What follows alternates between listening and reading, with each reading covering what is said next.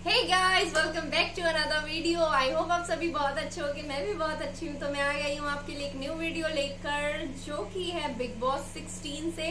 और अभी big boss 16 तो बहुत ज़्यादा चल रहा है ट्रेंडिंग पे है। और मेरा फेवरेट मतलब इसमें एक जो ग्रुप है ना, एक तो टीवी वाले हैं, एक नॉन टीवी है। तो मेरे को नॉन टीवी वाले बहुत पसंद है। तो इसमें देखते हैं MC Stan big fight scene है। तो वो चलिए स्टार्ट करते हैं और आप लोग भी इस वीडियो को लास्ट तक ज़रूर देखते रात 12 बजे। बर्तन गंदे थे अपन ने धोए ना आप तू ये बोल रहा है कि मैं सुबह करूँगा। हम भी छोड़ देते तो फिर सुबह किसको क्या मिलता? नहीं नहीं। दिल्ली साफ़ करता पूरी रात बैठी नहीं, मैं क्यों बैठूँगा पूरी रात? मैं क्यों बैठूँगा? हाँ करा ना ब्रो हाँ, तो फिर? मैं करता ना ते करे तो फिर अपना अपना काम टाइम पे करो ना यार। करता ना करता ना।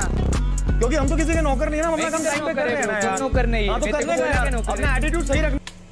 आप लोग को एक्सिस्टेंट कैसा लगता है ये ज़रूर कमेंट बॉक्स पे कमेंट करके बताना क्योंकि मेरे को बहुत अच्छा लगता है मेरे को मज़ा आता है एनसी स्टैंड का बात करने का स्टाइल और ये जो लड़ाई करता है। मतलब बंदा फेक नहीं है ये अच्छा लगता है जो है वो मुँह पे है। तो आप लोग चलो पहले स्टार्ट करते हैं फिर लास्ट ए ब्रो तेरे को बोला मैंने नौकर है तू? नहीं तो अपना एटीट्यूड सही रखना काय का एटीट्यूड सो रहा क्या ब्रो चेयर पे? अच्छा तू अपना चेयर पे सो रहा क्या ब्रो देख मैं तेरे को नॉर्मल बोल रहा हूँ कि जो काम जिसका है ना ब्रो वो करो।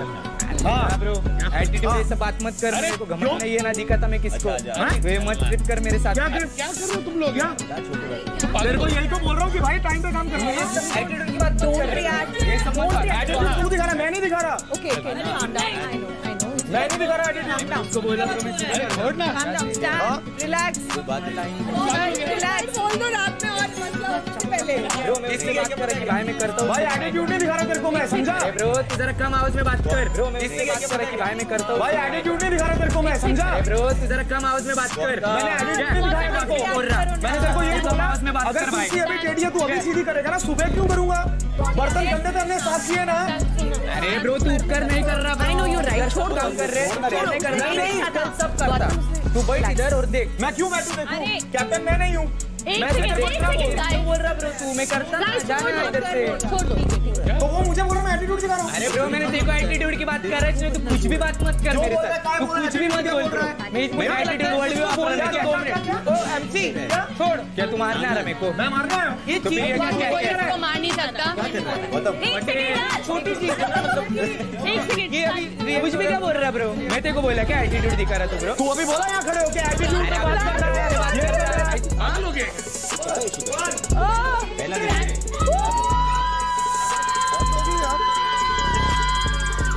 पागल हो गया। नहीं नहीं गौतम.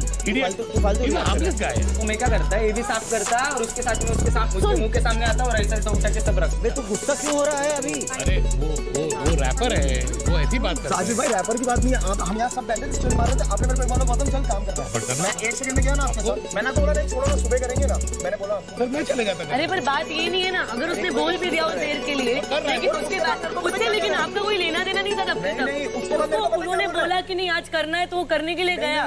उससे आपका कोई लेना देना नहीं था कि वो करे अपना काम कि नहीं करे वो कैप्टन देख रहा है वहाँ पे कौन अपना काम कितना कर रहा है। मुझे क्या बोला? कि तू भाई यहीं बैठ पूरी रात मैं अरे करता उसका अरे यार उसका बात करने का तरीका वैसा है। तू है? बहुत गलत कर रही है तू बहुत गलत कर रहा है। अच्छी लगा कुछ चीज़ भी नहीं थी मालूम क्या? ये नहीं थी। ये तुमको मालूम? अभी स्टैंड भी ये चीज़ करूँगा ब्रो स्टैंड मैं बर्तन तुम्हारे लिए करेंगे अरे नहीं एक बात एक बात मुझे पता है। उसकी ना जबान पे तू अटक रहा है। उसकी बात करने का तरीका वो है। उसकी जबान वैसी है। ही। टॉक्स लाइक बंटा क्या करने लगा तो वो वो तू उसको उसको तू गलत ले रहा है। देखो सुन मेरी बात। Either you come with me or I'll get him yeah? come on he's a nice guy you're a nice मेरे को guy कोई प्रॉब्लम नहीं है Exactly. bro। अच्छा, अच्छा, आप be- आप मेरे को तू जानते हो यार आप कल से देख रहे हो तो मुझे। be the be the bigger man come, come, मतलब आई लव हिज सॉन्ग यार मेरे को क्या प्रॉब्लम है Exactly, तू तो? तारीफ़ कर रहा था उसकी हाँ, हाँ? अभी आपके सामने तो किया मैंने उसकी He's- बेचारा as it is he's feeling lonely है एमसी गले लगो। चलो। चेयर क्या ब्रो दस बार उठाएँगा उसके लिए वो भी साफ़ करेगा। चलो। ब्रो तू चलो, मैं- चलो, ऐसा बात मत कर रहे ब्रो मैं भाई मैंने ऐसे बात नहीं किया तुझसे। मेरा अपना तरीका बात करने का मेरा अपना आना खत्म ना। भाई मैं रात को भी साफ़ करेंगे तेरे लिए no दिन kissing. को भी साफ़ करेंगे ऐसा कुछ नहीं है। तेरे लिए डीज भी साफ़ करेंगे भाई लेकिन ऐसे आड़ी आड़ी बात नहीं लेते भाई। तेरा फ़ैन है तेरी तारीफ़ करा देते नहीं भाई वो नहीं बोल रहा सर मैं नहीं। मतलब मैं भी उसको रिस्पेक्ट करे भाई अभी देखो मैंने तुम तो गाइस ये था वीडियो जो कि बहुत अच्छा था और एमसी स्टैन जो लास्ट में आए और बात किए बहुत अच्छे से गौतम के साथ है ना?